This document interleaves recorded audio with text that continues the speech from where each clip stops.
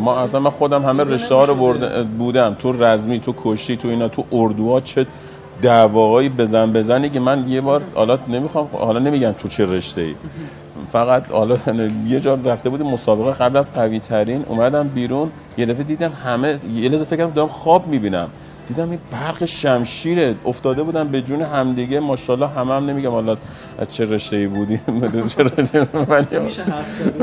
رشته. بعد همه یه لحظه من به خدا فکر کردم دارم خواب می‌بینم. بعد همه ماشاءالله حرفه‌ای بودن. که ولی خود لات نبودم مثلا بگیم دوا.